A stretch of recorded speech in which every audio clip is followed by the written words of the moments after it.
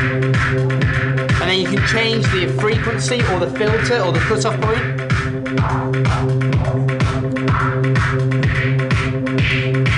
And you can just leave that on one channel all night and every now and then in the mix or whatever, just slowly. And then again, you can use the effects over the top of it.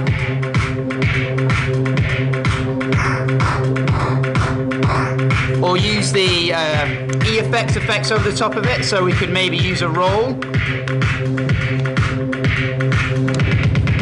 Sorry, wrong channel.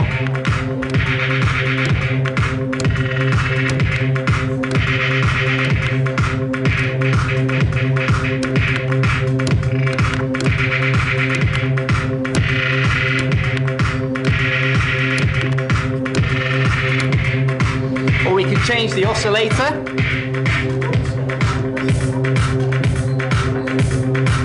Again.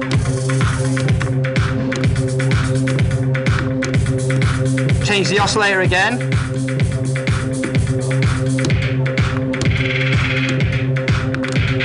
Change it again.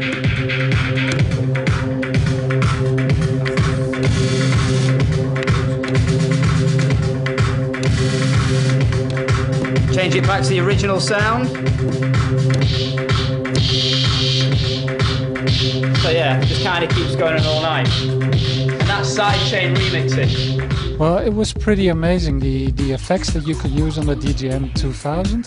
It's like a whole new world opening up for DJs. You can use so many effects, use so many tricks, and you can really improve on your mixing. It's uh, it's really amazing what the product can do.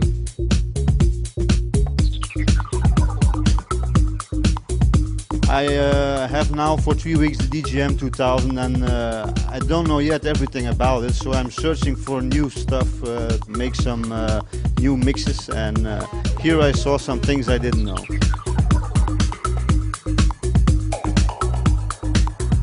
The guys that really have experience in the DJ world to come out and just take their time and explain in a in a normal way to people because otherwise you see DJs you see them at work but you don't know what they're doing really. And today they really take the time and effort to to explain it to it to you in detail. It's really nice.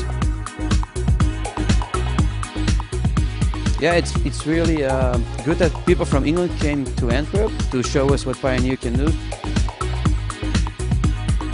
Well, I'm just a, I'm a starting DJ, so the more info I can get on, on products and techniques on DJing, it will improve my my DJing performance in the future.